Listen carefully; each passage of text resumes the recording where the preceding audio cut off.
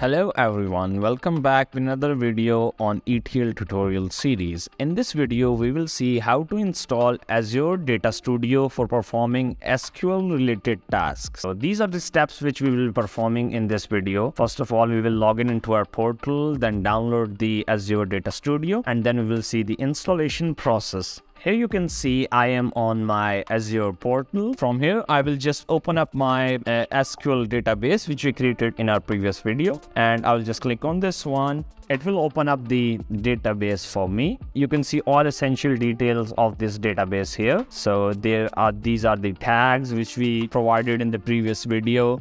To run your SQL queries inside this database, you can either open up the query editor. I will just provide my password here, which I use to create this uh, SQL server. So I will click on OK. It will allow me to log in into this uh, database. I will try to run a simple query here to see whether it's working or not. I will just uh, write select, then I will just write get date function which will provide me the date. So I'll just run this query and you can see that it's providing me with the current date. So my query is working. You can use this uh, query editor to perform tasks, but it is meant for the simple tasks. So to perform the tasks which are more complex, Microsoft had provided a user-friendly interface which is called Azure Data Studio. So you can use that to perform complex query related tasks for SQL. So to install the desktop application, you need to go back to the overview. Mm, just click on this uh, connect with option and just uh, click on Azure Data Studio.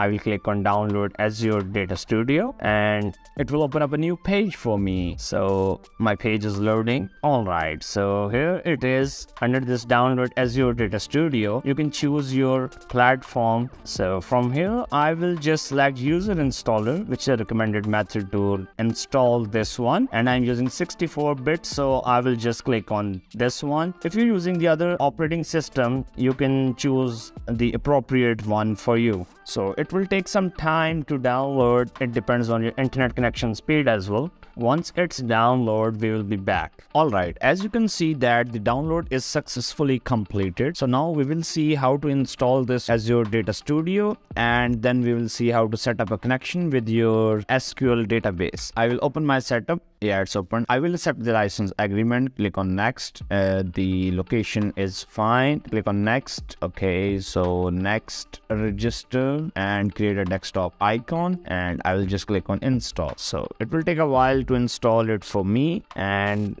then we will start exploring the application okay as our download is completed successfully I will just launch the Azure Data Studio and I'll just click on finish. Alright, our Azure Data Studio has been successfully launched. You can see this interface, it's really similar to Microsoft Visual Studio. So now what we have to do, we will set up a new connection with a database. So here in this one, I have to provide some details of my uh, server. So I will just go back to my Azure Studio and I will just come here and I will copy this server name. You can see here there's a server name. I will just paste my server name here and authentication type I will choose SQL login. So the username is actually it was de underscore admin and the password I will provide the password for my SQL server which I used to create this SQL server.